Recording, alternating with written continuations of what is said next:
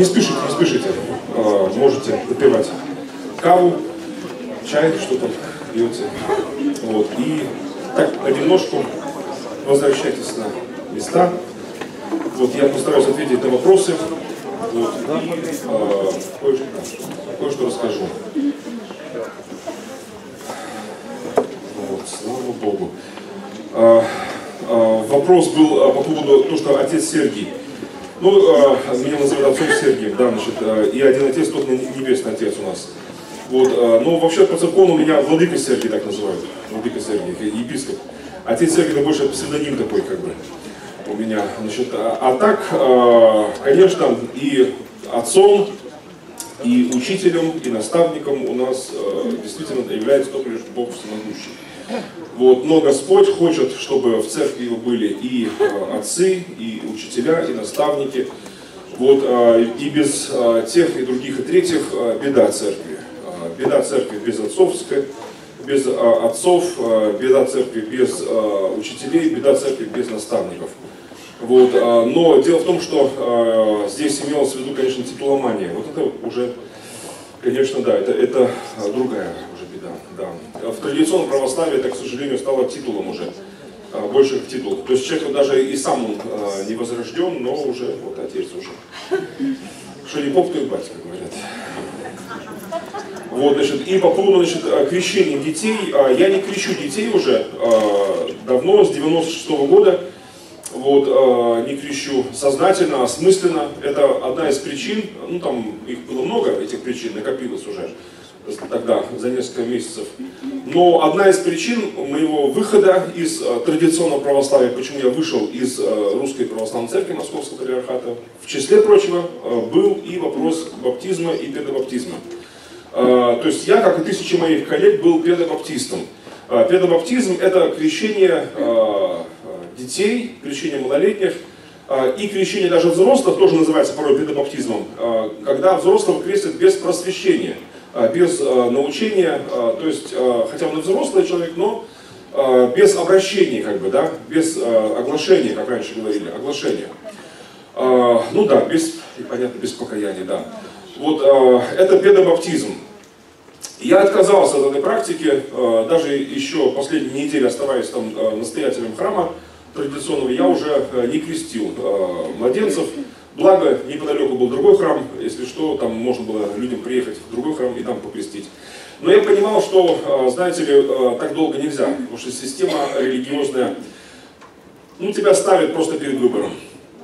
Либо ты должен быть как все. Мне один батюшка говорил, ну что поделаешь тут.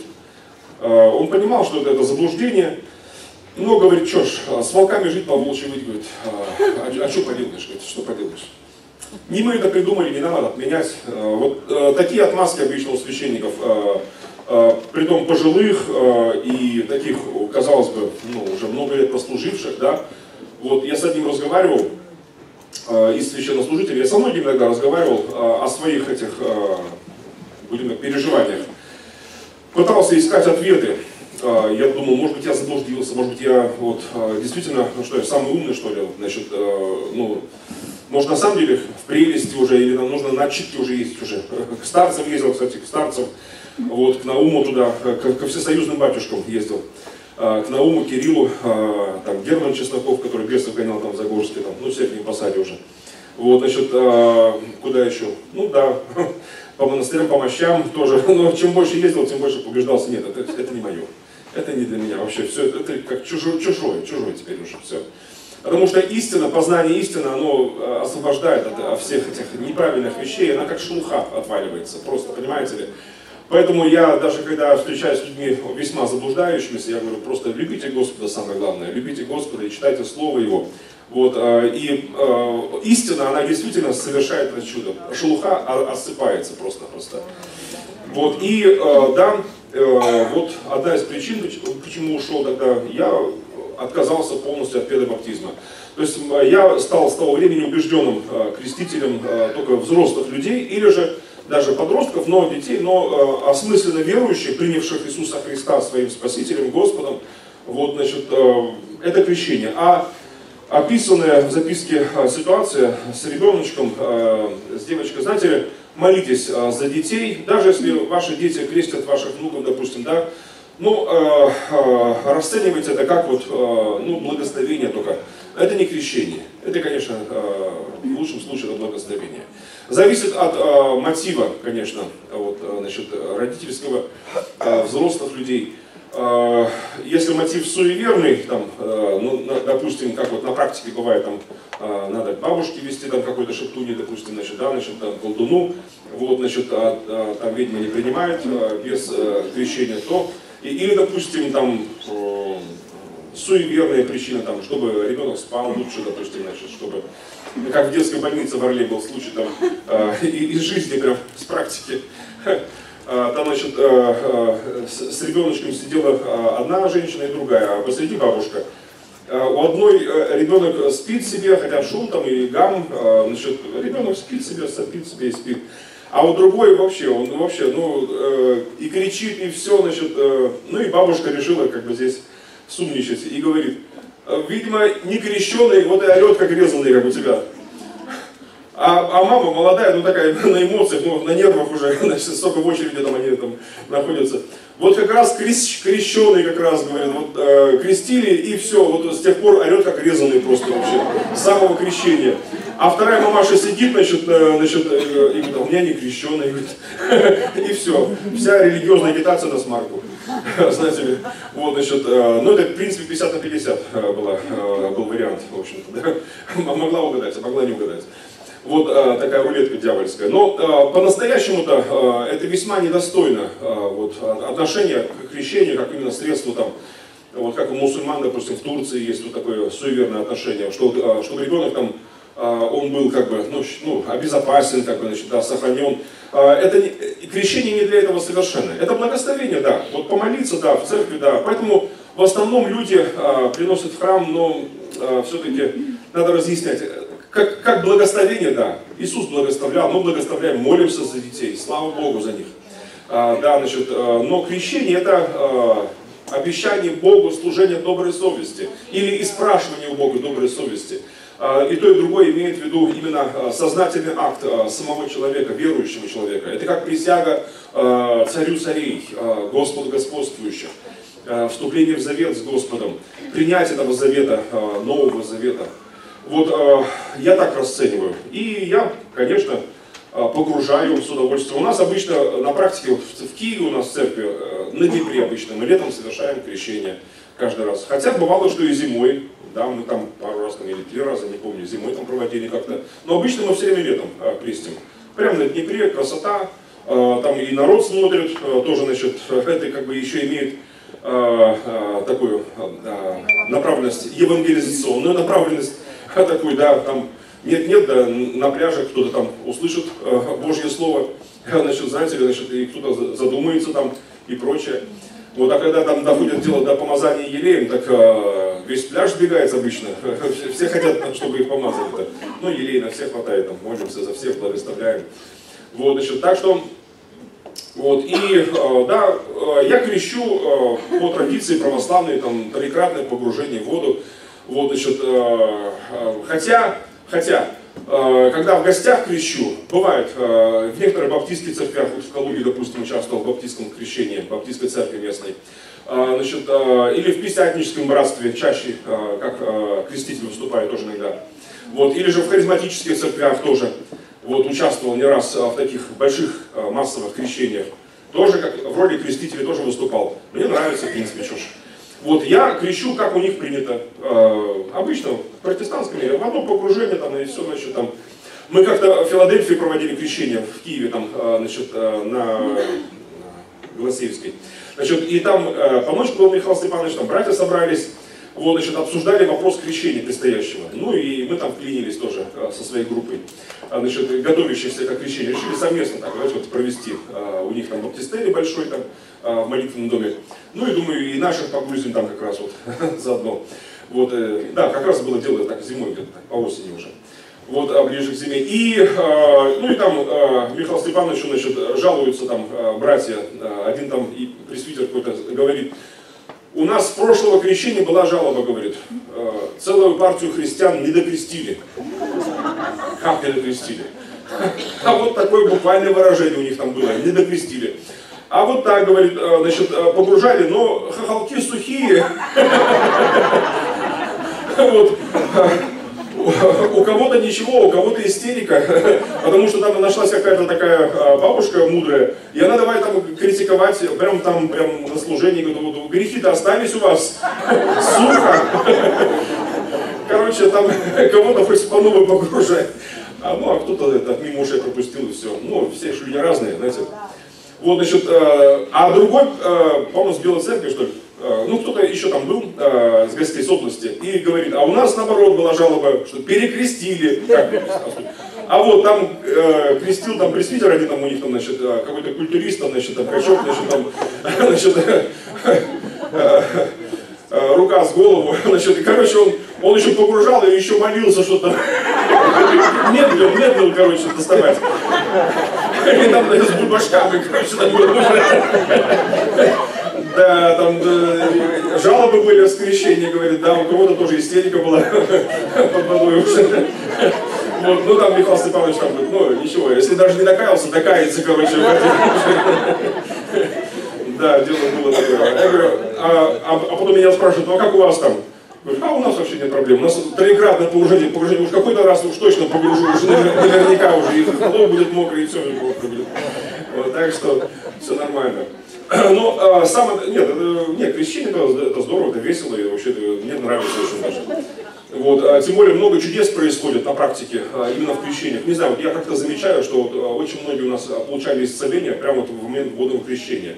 Притом от таких а, хронических, а, очень многолетних заболеваний таких. Вот. И очень для меня, для меня это очень хороший знак такой, знаете, вот, ободрение такого. Аллилуйя. Спасибо тебе, Господь, спасибо. Спасибо. Так что, если соберетесь летом там крестить, нет проблем. Я легкий на ногу приеду, покрещу там. Да. Вот. Это классно. Вот, но, но самое... А, мне рассказывали про одного пастора какого-то, а, он заказал это, еще в 90-е годы, там было крещение где-то там а, на море, а, океане, короче. Значит, заказал оркестр городской, значит, там оплатил а, и они играли похоронный марш, короче, Там весь пляж сбежался, сектанты хоронит кого-то в А он сказал, по откровению такое получил, как бы, значит, там, значит, ну, не знаю, был, не был, но вот э, за что купил, за то продал. Значит, э, что да, значит, люди заходили в этих одеждах, значит, прям туда, под, э, значит, вот эти вот похоронные звуки. Вот, так прониклись, даже старые верующие каялись, короче, прочувствовали. Да, да. Вот, значит, но зато потом, когда всех там погружали уже, то выходили уже все, тоже оркестр играл уже что-то там, ну, может быть, наше еврейское, мендельсонное, я не знаю, что-то еще. Короче, что-то хорошее играл уже такое позитивное. Вот, ну и как бы для неверующих это было тоже такое научение, напоминание постоянно, слава, слава Богу. Так, друзья, и э, дар пения, э, пишет, а, кто-то, а, может э, Господь положит тебе на сердце петь э, псалом два года назад на днях поста, э, короче, я пел хатику, да, хатику, очень сильно, да, здорово, я очень люблю этот э, гимн э, Израиля, э, и эта песня, ставшая гимном Израиля, Хотя сейчас говорят, э, там уже давно уже конкурс объявляли, э, какой-то другой гимн еще, э, возможно, родится вскоре. Но вот эта песня, она действительно, это история. Это песня молитвы, это песня, ну знаете, да, вот это вот.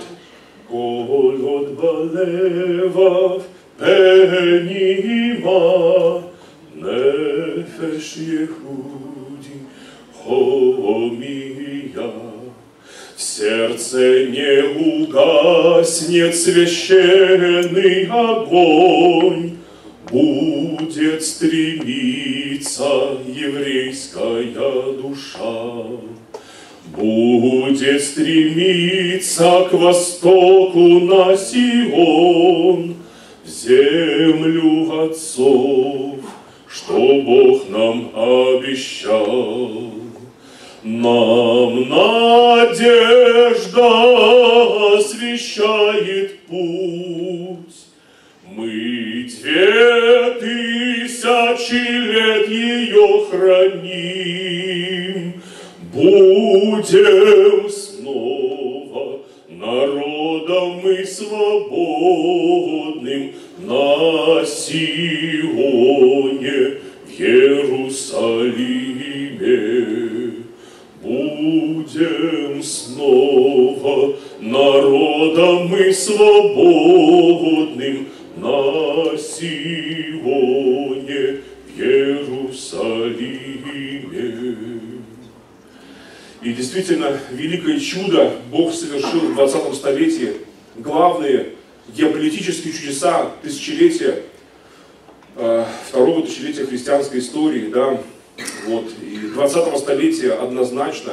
это два чуда. Первое это в 48 году, 14 мая, да, это провозглашение независимости государства Израиля, возрождение еврейского государства, когда Бен Гурион зачитал Декларацию независимости.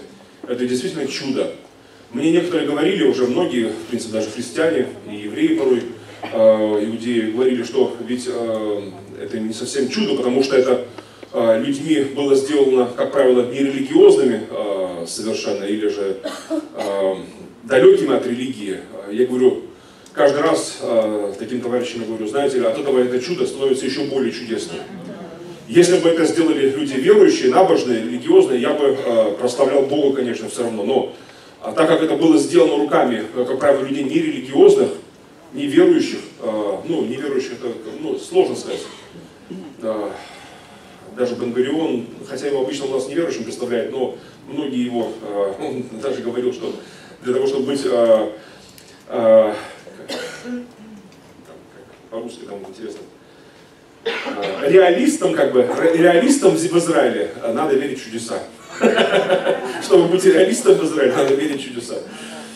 Да, а второе чудо было в 67 году. Да, Иерусалим наш.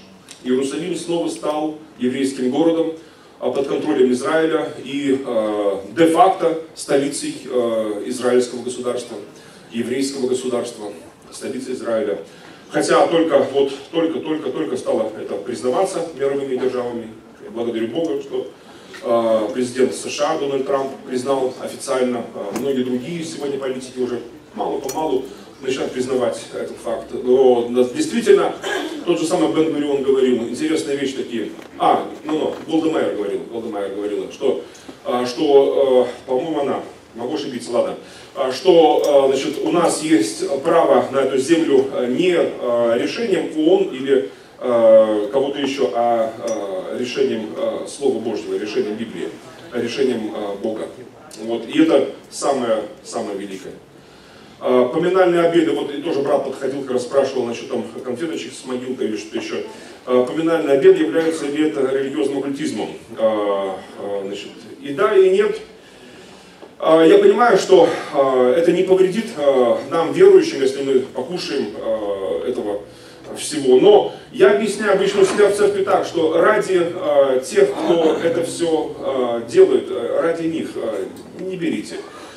Почему? Потому что у вас есть возможность, особенно в трудовом коллективе, где люди знают друг друга, у вас есть хорошая возможность как раз засвидетельствовать о вашей вере, говорить о том, что вы Э, евангельский мыслящий человек, верующий, библейский верующий человек, что вы молитесь за живых, уважаете память, чтите память умерших, да, значит, безусловно, выражайте соболезнования, э, конечно же, плакать, плакать с плачущими, это действительно это правильно, но, э, но вот участвовать в этих трапезах, нет, это не для нас. Вот, а можно ли цветы на могилу? Почему бы нет? Я обычно по старой еврейской, и, кстати, Э, татарской тоже, э, значит, по крайней мере, э, казанской традиции тоже камешки ношу обычно, камешки, вот, на могилу, вот, даже дедушки своим, допустим, Галях Мету, да, вот, да, по традиции, вот, камешки приносим, вот, ну, обычно в украинской культуре принято цветы, допустим, да, дарить умершим, значит, да, как бы приносить на могилу, там, значит, там, ну, вашу, я не знаю, Э, главное ваше отношение, это как память. Э, почему камешки? В еврейской традиции камешек, да, ложим, ну это как бы э, знак нашей, ну, один, одно из объяснений вот вечной памяти, вот такой постоянной памяти, вот, знаете ли. Да. Когда приходишь к православным верующим на Пасху, можно ли есть Пасхи, является ли это грехом? Опять-таки тоже грех, не грех. Оно ж, знаете ли, идол в мире ничто вообще. Вот, э, можете э, съесть этот кулич и глазом не моргнуть, знаете ли. Но э, я лично в этом не участвую, да, давно уже. И, э, когда я понял, что это э, значит, влияние языческого вот этого прошлого, нет, это не для меня. Есть, смотря как, если вы это съедите, допустим, не знаю, ну, э, ну разные бывают обстоятельства. Э, Давид тоже не имел права есть священных хлебов, но было такое обстоятельство, что он съел, вынужден был съесть. Вот. И ничего, и, не подавился, и не погашнулся, значит, Бог не осудил его, между прочим, за это. Вот. Вот, но я отказываюсь есть по причинам, потому что это оккультный обряд э, и было привнесено в христианство извне. Вот, это не мое. Поэтому э, в своей церкви, да, я говорю так вот, не знаю как, у вас э, идите куличи или нет, а то Некоторые протестанты тоже пекут уже а, эти а, куличи. Это фаллический культ, поклонение а, Богу плодородия, это мужского полового органа, как божеству а, воздается поклонение.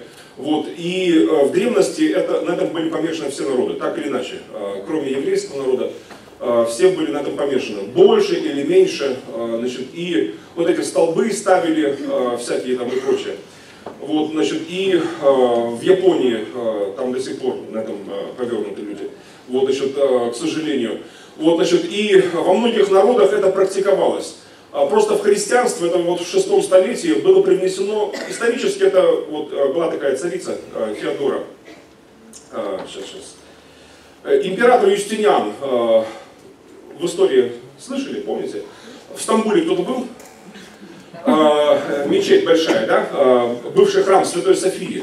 Огромный собор, Софийский собор Константинополя. А, в шестого столетия постройка, это как раз его детище, это, это его строительство. Вот это, чтобы, чтобы было вам с чем связать. Будете в Стамбуле, заходите, посмотрите, это впечатляющее зрелище действительно. А, значит, и этот храм, а, это был православный храм когда-то, огромнейший. В то время, в шестом веке, это была самая крупная религиозная постройка.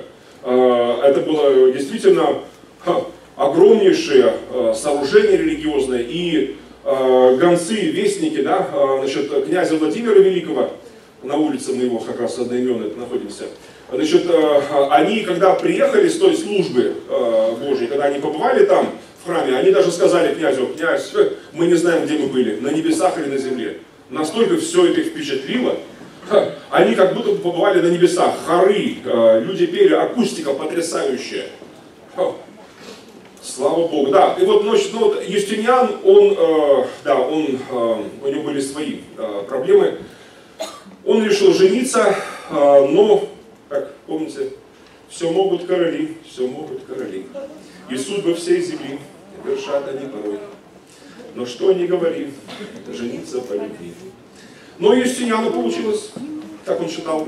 А, ну, пришлось законы переписывать, пришлось э, много кого репрессировать, но у него получилось жениться, как он, э, как он понимал любовь. А, это была, э, как Жириновский говорил, женщина не тяжелого поведения. Вот, а, значит, так, мягко говоря.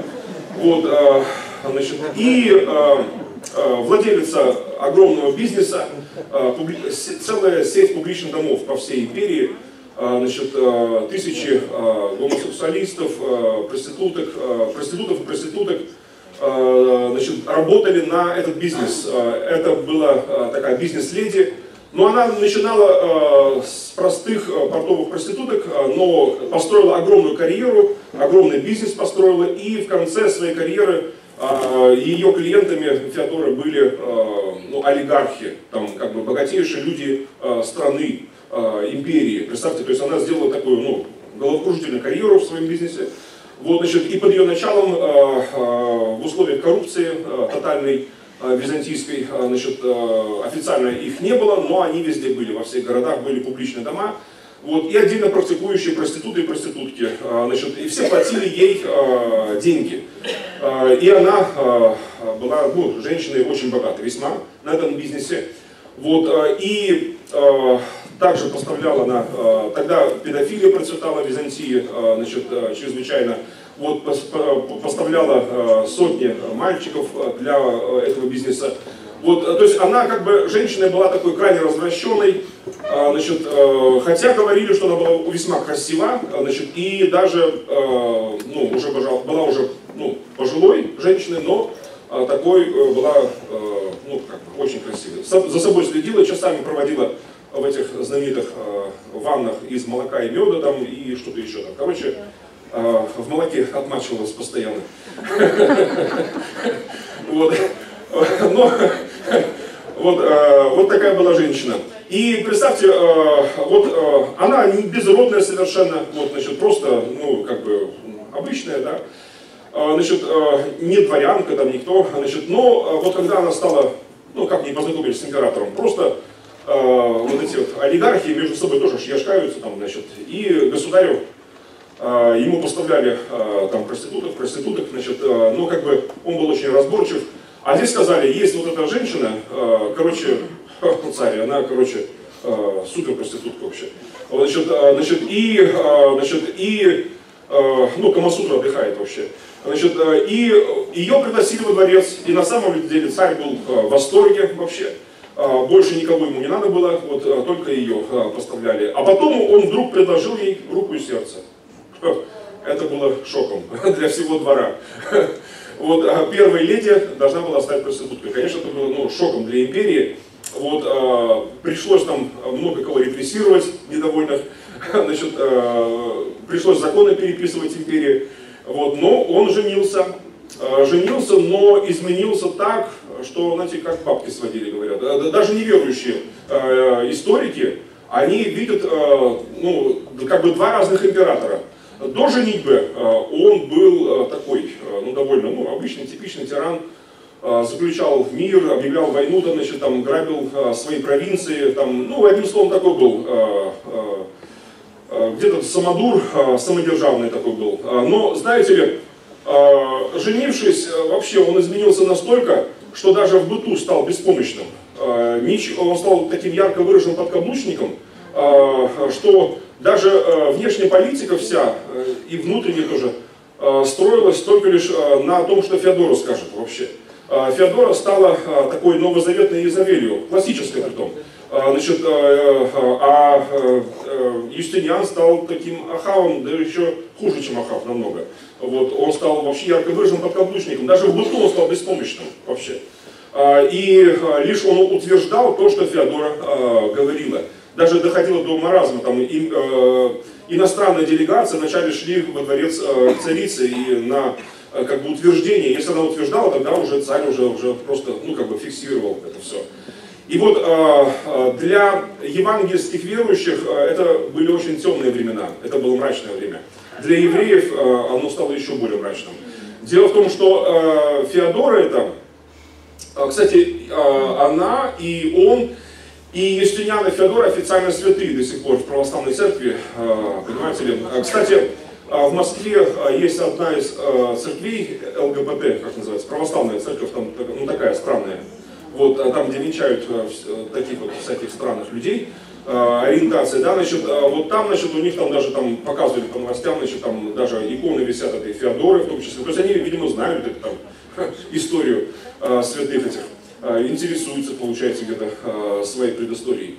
А вот, значит, э, да, ну, ладно, там еще царица Ирина тоже, тоже святая, официально святая, которая на острове Лесбос была ее резиденция основная.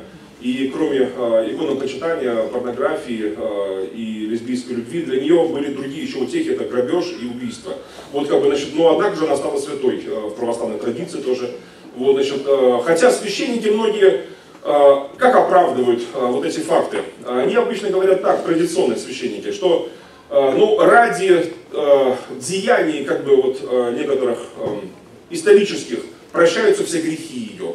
Допустим, Ирину оправдывают тем, что она восстановила иконопочитание в стране. Почитание мощей, крестов, икон. вот ради ее вот этого деяния как бы прощаются грехи ее тяжкие всякие. Вот. Э, Феодору примерно так же оправдывают, э, значит, э, ну, и вот Феодора, почему для евреев и для христиан евангельски мыслящих наступили темные времена, потому что Феодора была ярой антисемиткой. Кроме того, что была очень развращенной женщиной, она была ярой антисемиткой. Там разные версии есть историков. Одни говорят, она сама была полукровкой, другие говорят, что значит, из выкрестов ее родители были вроде как бы там, ну, всякие мнения есть. Есть мнение, что ее обидели в бизнесе, значит, там евреи, там, ну, короче, разные как бы то ни было, она ненавидела евреев. И став первой леди в империи, царь вдруг, ну понятно, царица принимала решения, законы. Законы были абсурдны вообще. Евреям не жить в империи вообще стало.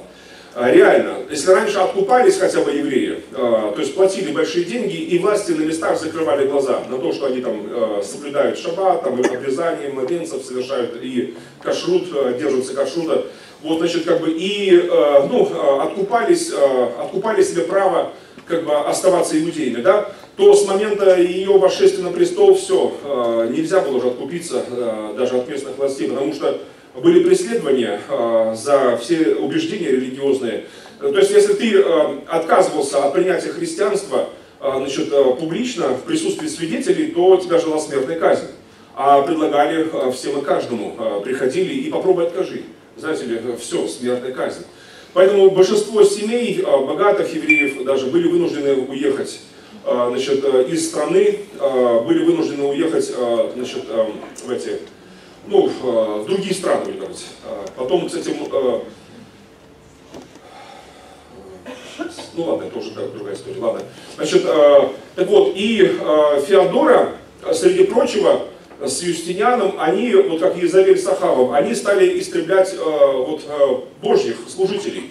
Вот те христианские служители, которые держались библейских принципов, норм, не только знатные люди были, богатые, многие репрессированы, не одобрявшие брак короля, значит, нарушавшие законы империи, но и епископы, которые выступали против садомии, против легализации этих проститу... публичных домов, против там, этих всех вещей, они были, ну, их не казнили, как правило, а снимали с должностей и в ссылку или в изгнание отправляли. А, значит, а, на их место ставили а, новых служителей, как правило, даже просто из чиновников, даже порой, и весьма крайне развращенных, которые одобряли вот, действия вот, императрицы и прочее. Вот, Папа Римский, он противился, и западные епископы выразили свой протест, несогласие с политикой этой. Ну, формально была одна империя, понимаете ли, она как бы, но, ну, де юре, а де-факто уже было некоторое разделение. Ну, не было еще, в XI веке только лишь было разделение такое на запад и восток, но, но фактически уже э, разделение уже э, было э, готово. Так вот, и э, вот знаменитые куличи, э, да, э, с крашенными яйцами, это же, э, как сказать, э, вот в древности, в то время, допустим, да, э, публичные дома не могли там вывесить, допустим, э, вывеску э, свою, что значит это публичный дом. Потому что официально э, не было этого в Византии. В чем дело? Э, значит, православие формировалось очень, как религия такая весьма лживая в то время Византии. Весьма лживая. Почему? Потому что написано одно, подразумевается другое, делается третье. И, понимаете ли, вот это отступление от Слова Божьего, когда Библия это святая книга, да, это да, но на ней можно даже присягать, все, но делаешь э, все по-другому. Это весьма-весьма печально, конечно. Вот, э, и так вот, э, и вот эти куличи, это были знаки как раз вот, значит, блуда, будем так говорить, или отдельно практикующей проститута или проститутки, или же публичного дома. Вот, если в город входил человек в то время, и ему нужно было вот, значит, такое заведение, как в России говорили, дом терпимости, значит, то тогда, значит, вот он видел такое Э, будем так говорить, э, э, хлебобулочное изделие, вот, которое поливалось глазурью такой, которая означала семяизвержение, как бы, значит, вот, и все это выставлялось для обозрения, чтобы люди могли заходить. А, потому что уличная порнография была тоже запрещена, только внутренне позволялась. Поэтому не могли делать ни выписки, ни рисунки, как в древности делали римляне, допустим. Археологи находят массу таких моментов. Вот, значит, поэтому оставались только вот такие варианты, хлебобулочные эти изделия выставлять. Значит, для обозначения подобного дома. Вот, и представьте Феодора, ну, я не буду там детали рассказывать, откровенно таких пошлых очень, но вам уже и так понятно, да, что это как бы зло. Так вот, Феодора, э, она приказала, э, ну, она по сути это была, э, хотя юридически это был император, этот самый Юстиниан. Так вот, приказала вот подобные эти хлебобулочные изделия выставлять в храмах. Выставлять, то есть смешать публичный дом и церковь вместе. Понимаете, сейчас как бы люди не видят в этом никакого там криминала, когда на Пасху приносят подобные безобразие, то, понимаете сейчас даже большинство об этом, ну, люди так, ну, так, где-то что-то слышали, конечно, где-то что-то там, какие-то программы там телевизионные есть на эту тему, там, значит, ну, в интернете, в конце концов, там полно материала. Вот, значит, но газеты, какие-то журналы есть, там, значит, там, но а, в то время а, значит, а, все это было свежо, и люди видели, что в церковь приносят знаки блуда. И она приказала, что до того времени, до, 6, до середины 6 столетия, христиане себе в основном хрустели мацой, опресноки ели на Пасху.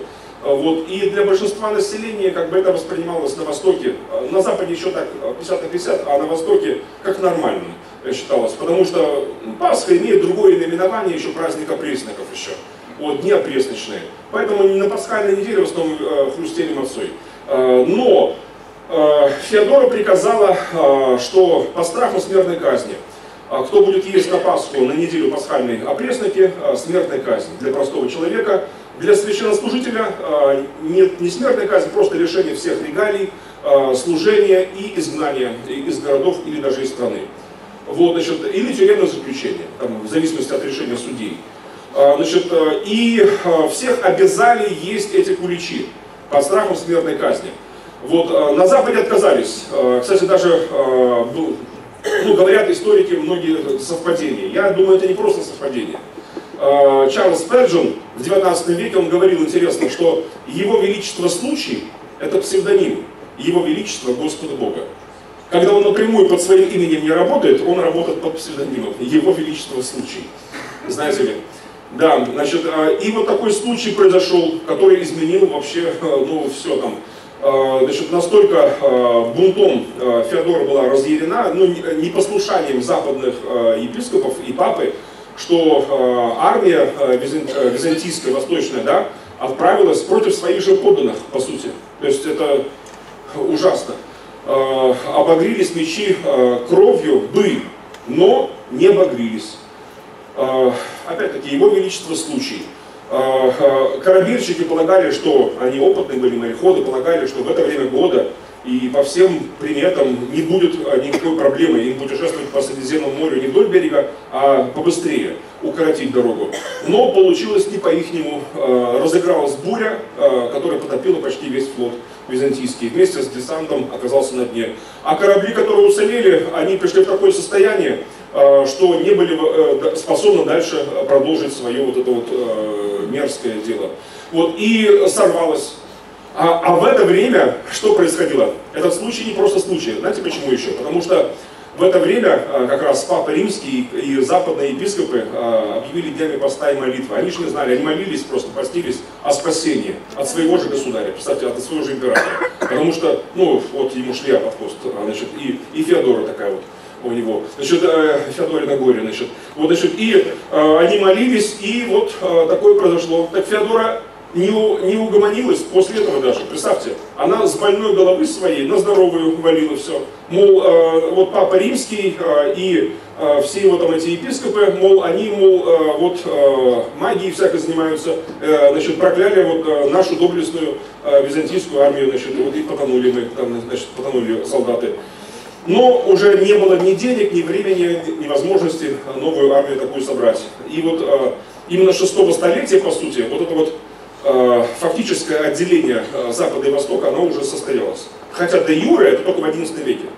но благодаря вот, э, самодурству, самоуправству Феодора и Юстиниана это все имело как вот, клин такой, знаете ли, как вот э, э, ледниковый период мультик, да, белочка там орешек, бац, и трещина пошла. Как бы, это еще не само, как бы, но уже трещина пошла уже, разделение. Вот, так что, понимаете, да, что я почему не ем, потому что э, оно мне надо. Не, не надо, я. Лучше со спокойной совестью похрущу мацой. Вот. Эм. Так что скоро Пасха, и ешьте побольше мацы.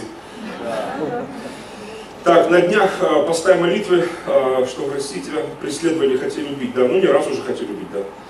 Э, вернулся в Россию, почему? Бог ведет. Опасность есть, но самое безопасное место из моей практики, вот я уяснил для себя, это там, где Бог тебя хочет видеть. Самое безопасное место – вот. И наоборот, э, он, помните, там Троцкий хотел убежать от Сталина вообще э, в такую спокойную Мексику, ему казалось, да? Ну, и там ледоруб нашелся. Вот э, бандитов присылали не раз уже, значит, заказывали меня, значит, все, значит, мои же братья. Но Бог хранит, оберегает. Вот, для его работы, ну, видимо, некому больше заниматься этим. Надо как-то а, расскажите, пожалуйста, о том, что такое доходы, име... а, какие доходы имеют православные священники. Ух ты! Потому что вам все расскажи, покажи. Из каких таких источников они получают зарплату? Вау! Кто финансирует? Серьезные вопросы, слушайте. Лучше-ка я воздержусь, наверное. Строительство. А? Подсели, да, да, да, да, да. Но обычно, э, если серьезно, то приходы спонсируют э, своих же священников, содержат, это нормально считаю, своих же священников. Вот. А, памятники различным людям, а, писателям, а, поэтам, идолопоклонства, спрашивается. Ну, а не памятники дело, конечно, а в нашем отношении. Если человек, он почитает этот памятник для него это идол, конечно. Вот. А если просто как памятник, напоминание, памятник, я молюсь о том, чтобы вот э, в России, в Украине, э, в Беларуси, вот, где путешествую, где проповедую, чтобы были памятники пробуждения, чтобы вот именно вот, э, обычно раз вдоль дороги едешь, там, здесь там видно крест какой-то памятник, там сбили, сбили кого-то, значит, кто-то погиб там, а вот здесь раз, я проезжаю порой некоторые, мимо некоторых мест, вот здесь было воскрешение из мертвых, там, там было еще одно чудо, там вот такое, такие памятники вот они нужны, конечно, напоминания. Максим Максимов на вопрос, что э, вы делаете с яйцами, ответил, я их ха, жру. Ну это похоже на него. Я Максима знаю просто, он такой, да, он за словом в карман не лезет. Откуда взялся, говорят, окраски Не, Максим, он, конечно, приколист, но вообще, конечно, такой Э, я ему как-то сказал, был у него в Алмате еще, когда еще он был, да, значит, на легальном положении там в Казахстане. Значит, и значит, я ему сказал, говорю, вот, как-то, христианин, напомнил слова ему Проханова Ивана Степановича, христианин неисправимый оптимист. Но он тут же отвечает свое понимание, а пессимист говорит, это информированный оптимист. Э, ну что ж, пришлось отвечать. Я говорю, что пессимист, это, говорю, неправильно информированный оптимист или дезинформированный оптимист. Потому что э, Бог наш, Он самый информированный из всех информированных, э, и однако же Он оптимист. Он до сих пор нам верит, слушайте. О, вообще, Он до сих пор нам доверяет, верит и, и любит, и... Ой-ой-ой, хотя знает все, Поэтому, думаю, вот это да. 7 а, апреля православные отмечают праздник Благовещения, вот, в воскресенье, да. А, в Евангелии от Луки Архангел Гавриил сказал Марии, что она зачнет от Духа Святого и родит сына. А, через 9 месяцев родился сын Иисус. Благовещение можно ли назвать началом Нового Завета? Можно, наверное. Да, оно же, это же а событие новозаветное празднуется вообще, вспоминается вообще новозаветное событие. Вот, а вообще Новый Завет начало э, само, э, де юре, да, это э, вот тот последний э, ужин, да, с учениками, когда последний седр еврейский, будем так говорить, Ветхого Завета и, и первого же Нового Завета, когда Иисус, он вчера говорил, да, сказал, что это чаша Новый Завет моей крови. Значит, и этот момент, а второй момент, когда уже реальная кровь из него была истекла. И он воскликнул, совершилось. Чем опасен религиозный оккультизм? Общение с бесами вообще э, никогда до добра не доводит. Э, примеров э, очень много приведу, но уже завтра, думаю, уже да, уже завтра. Э, вообще э, примеров очень много из истории. Э, из Библии пример э, вам на размышление. Э, Саула, вспомним, да, Саула. Э, он ведь такой был борец, э, тебе казалось бы, значит, там, э, с всякого рода идолопоклонством, помните, да, он изгнал волшебников. Но когда э, э, да, сам пришел.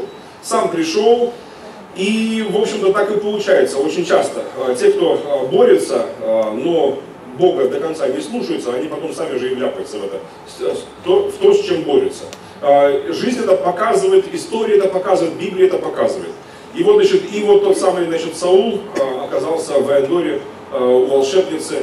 Вот, и спиритизм, Э, там есть разные мнения, что же все-таки там произошло, до сих пор есть очень разные и в христианстве, и в иудаизме, разные есть мнения, что это было такое, э, кто это был все-таки. Но, э, что бы это ни было и кто бы это ни был, самое главное для нас урок не в том, а в том, что ослушание, непослушание Слову Божьему, это то же самое, что колдовство. Противление Слову Божьему, бунт против Бога, против Его Слова до добра не доводит.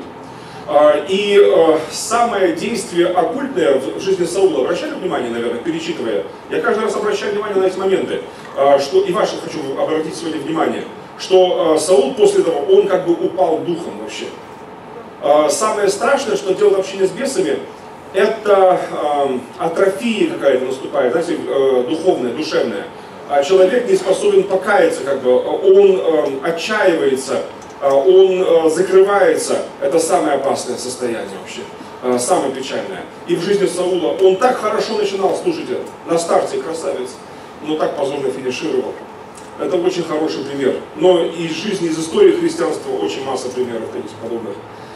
Какие предметы могут быть использованы в религиозном оккультизме? Да любые, абсолютно любые.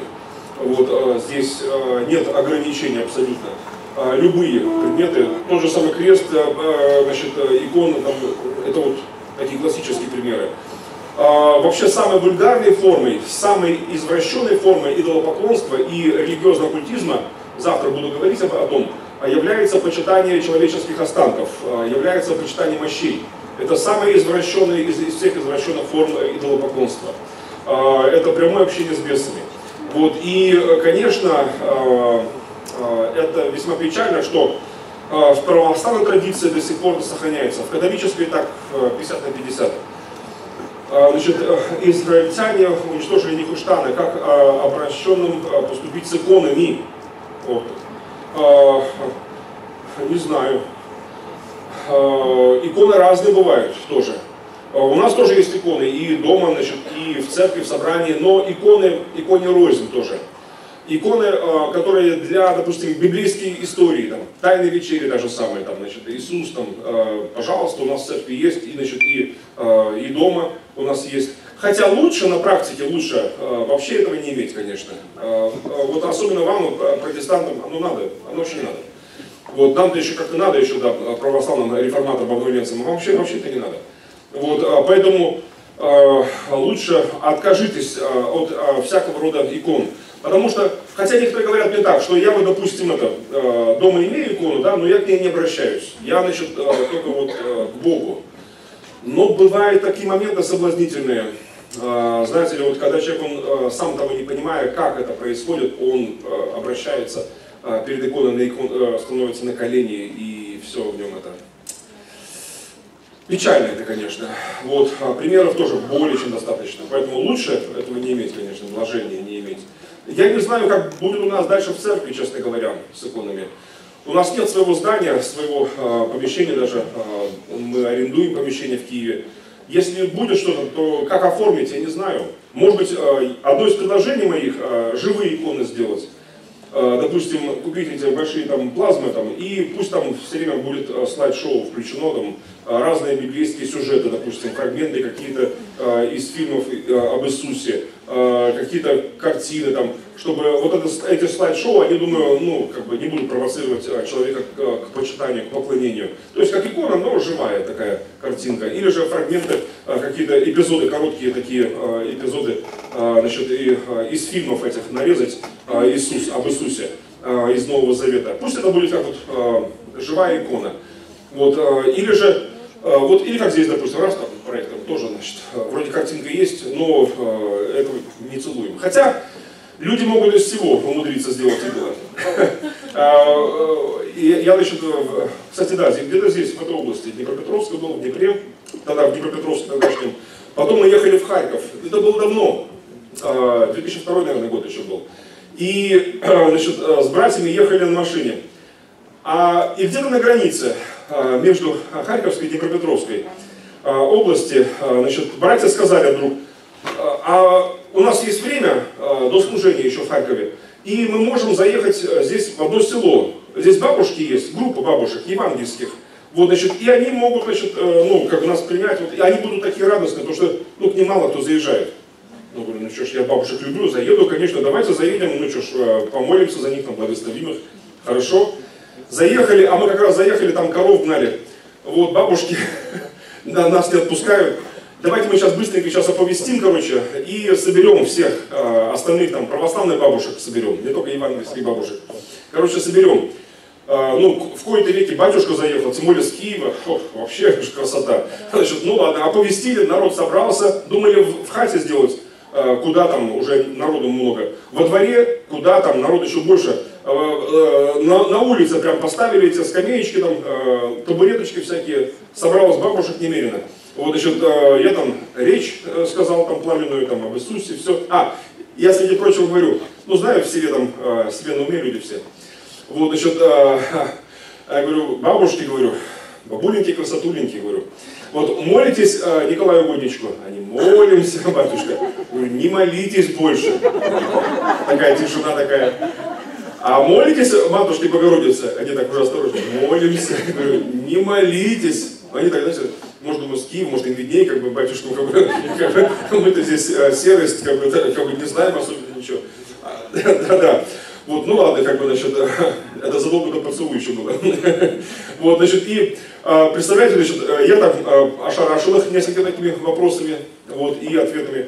Вот, и говорю им дальше, а молитесь Господу Богу, они, фу, ну наконец-то кто буду молиться можно, как бы напряжение спало немного, хоть, я говорю, молитесь Господу Богу, говорю. Вот слышали, вот, а, Иисус Христос, они, ну, ну конечно, да. Так вот, во имя Иисуса Христа молитесь, Бог наш Отец, короче, как мог объяснил ему, что вот э, един Бог, един посредник между вот, нашим своим селом и сейчас, допустим, и а, Богом Иисус Христос. Они, ну хорошо, хоть батюшку утешил. Ладно. Короче, я за них стал молиться. Вот уже э, братья уже говорят, что все, говорит, короче, пора уже э, честь знать. Э, помолился за этих бабушек, и здесь у них был шум начался у них. Они же там болячки друг друга знают, понимаете ли, и одна бабушка испугалась даже, у нее, она стала хорошо видеть вдруг. Значит, значит да, значит, другая, у, у некоторых там на шее какие-то опухоли ушли, прямо на глазах. Они, короче, были в шоке. Понимаете, когда ты в маленьком коллективе, там они друг друга все знают, это для них было шоком. Ладно, мы уехали. У меня с собой были календари нашей церкви. Почему я вспомнил? 2002 год, точно. Календари мы печатали как раз тогда. Настенный календарь. А, насчет нашей церкви. И по центру там был покорный ваш слуга, значит, во всех регалиях там. Ну, даже не в клубуке, а в таком, значит, а, да, архиерейском таком облачении. Ну вот, возьмите вот на память, радуйтесь. Э, из Киева с любовью, короче, все. Э, еду. Э, потом братья рассказывают, я уже в Киеве был уже дома уже, они рассказывают, мне по телефону звонят. О, там такое было, говорит, потому что когда, пока мы в Харькове были, потом отправили вас в Киев. Короче, новости пришли с того села. Они стали на другой день там узнавать, ведь бабушки стали дома проверять себя. Короче, то, что нельзя было проверить на публике, там, оказывается, там столько исцелений было. Они, короче, там, значит, там у них ажиотаж, что, что, вот что-то не то, а, что-то такое произошло у нас а, необычно в селе. И одна бабушка православная, а, евангельская бабушка одна зашла, значит, православный, и говорит, что-то у тебя иконостас твой не убавляется, а прибавляется с каждым разом все. А это что? Журавлев. Она, короче, взяла меня, вырезала из календарика в рамочку и на стеночку. А что Журавлев-то? Помогает? Короче, бабушка одна, огород большой, бросать не хочет его. Вот, значит, э, и, значит, помогать некому. И я говорит, утром встаю, говорит, никакая. Я говорю, Журавлев, помоги мне. Помогает. До самого вечера вниз головой там на огороде, хоть бы что. А я потом в церкви рассказывал, я говорю, то-то я смотрю, утром просыпаюсь, как не, нам не пахали, как будто. Я бабушка, зачем огород? Надо молоко за вред отдавать. Думаю, да, думаю, шутка, ну реально, посмотрите, как ну, махали там никого. Да, ну ладно. А, и это, а эта евангельская бабушка ей говорит, э, той православной, говорит, слушай, ну а что Журавлев ты говорил, ты хоть помнишь хоть? А? Ну, что не надо молиться тому, тому, тому, тому, даже Матери Божьей, молиться только лишь Господу Богу. Ну, короче, она еле-еле-еле уговорила ее все-таки снять, не позволяется Журавлеву хотя снять. Вот, я, я потом думаю, уже у себя в церкви рассказываю эту историю, думаю, надо же, как, как э, падки э, люди, да, э, по умолчанию такая опция стоит э, в нефише нашем, в душе нашей, да, эцерара, злое начало. В христианстве обычно называется это первородным грехом, но это действие падшего человека, да, э, змея. Э, и э, по умолчанию такая опция стоит, э, это идолопоклонство. Это, это свойственно, естественно человеку. Поэтому выходом чтобы сделать, избрать другую опцию, это а, уже сознательный акт нужен веры, уверования в Господа Иисуса Христа и сказать, что ни в ком другом нет спасения, нет другого имени под небом, данного человеком, нам, людям, мне, которым я мог бы спастись, которым я спасен, которым я спасаюсь, и жить уже по-новому совершенно. Слава Иисусу! Пусть Господь благословит вас всех, друзья, братья и сестры. А, завтра продолжим. А, готовьте тоже ваши вопросы. Завтра а, расскажу некоторые такие страшные вещи, а может и веселые. Посмотрим, как там. Я буду помогать. У меня всякого в запасе хватает. Да. Пусть Бог благословит вас всех и благословляю еще. Кстати, еще минуточку, сестры. Вот кто из, кто был вчера? Вот. Так, ага, большая часть. А, ночью кому что а, было, назидание какое-то, наставление, откровение какое-то, а, ну, пока помашите ручкой просто. Вот, что-то было, да? Вы знаете, пусть Бог всемогущий сегодня ночью вразумит тоже, наставит, даст откровение. Напишите хотя бы коротенько, ладно, записочку такую, черканите, не поленитесь. Вот, и те, кто сегодня вот тоже ночью что-то а, вот, а, вам Бог вразумит, вас чем-то наставит, поделитесь, не стесняйтесь. Ну, есть, у меня тоже есть некоторые вопросы просто тоже к Господу, и есть над чем поразмышлять.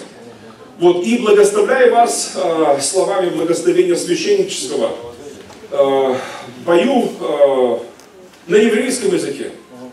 Еврейским я выучил только за то, что им говорил сам Машиах, сам Мессия. Да, можно перефразировать Маяковского, да. Да, талантливый был человек, только таланты, видите, они могут быть э, как в добро, так и во зло направлены.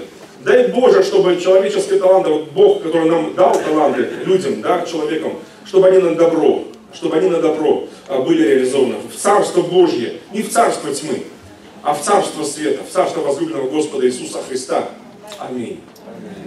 Аллилуйя. Спасибо тебе, Господь. Встанем, друзья. יברכך אדוני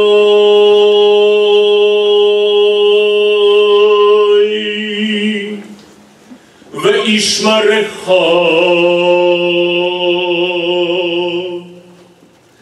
יחר אדוני פניו אליך ויחונך Adonai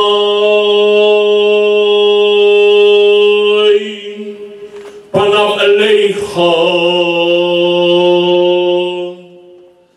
veyase lecha shalom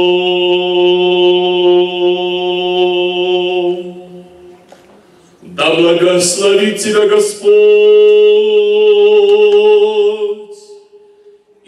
сохранит тебя. Да призрит на тебя Господь светлым лицом своим и помилует тебя.